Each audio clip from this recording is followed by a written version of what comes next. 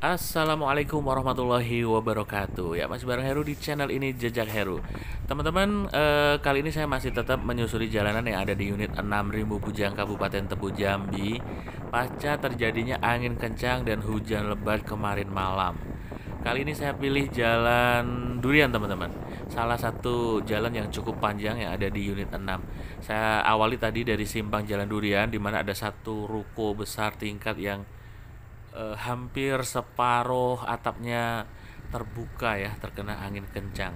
Bahkan ruko itu sebenarnya belum eh, pernah dibuka atau belum pernah digunakan teman-teman.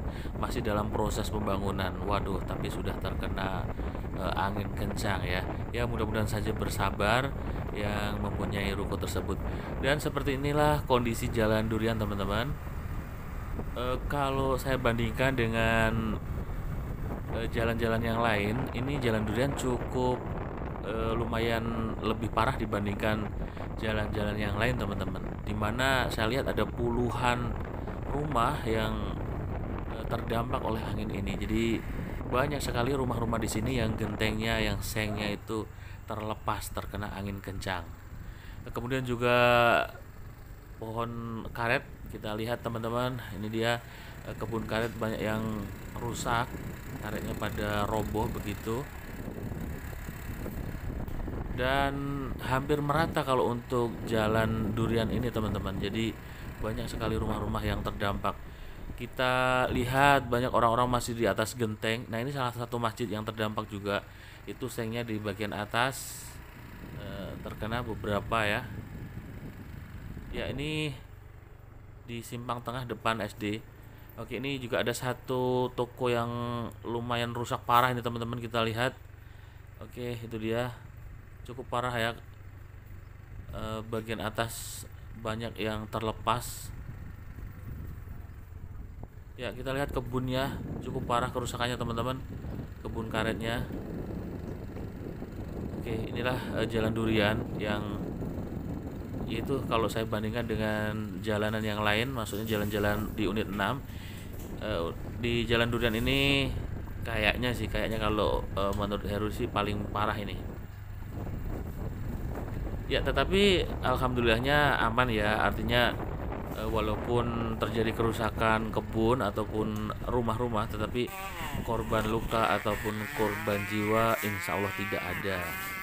Jadi ya aman cuma ya kalau yang terdampak ini ya jujur saja sih saya bisa membayangkan pasti ya lumayan sedih ya karena sebentar lagi lebaran eh, nanti mau ada apa ya bentar lagi yang punya anak sekolah nanti kenaikan kelas atau mungkin harus mencari sekolah baru pondok pesantren baru begitu atau barangkali yang eh, nguliahin anaknya sebentar lagi eh, macam-macam teman-teman yang jelas yang paling dekat adalah lebaran gitu ya.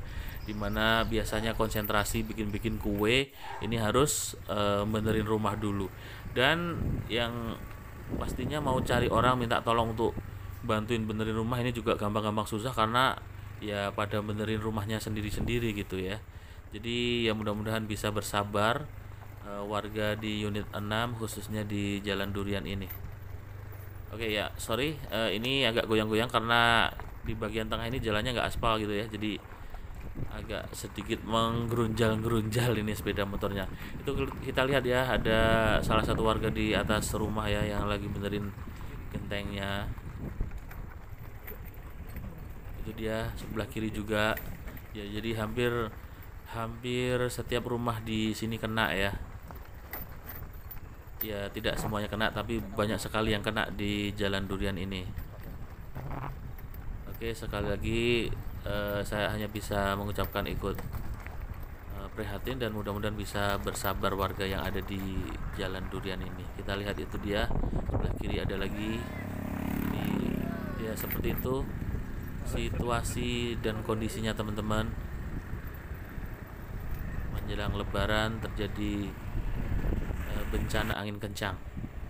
Ya, itu saja teman-teman ya. Mudah-mudahan bisa memberikan gambaran khususnya buat keluarga Jalan Durian yang ada di luar Rimbu Bujang. Ya, seperti inilah eh, kondisi Jalan Durian pasca terjadinya angin kencang kemarin malam.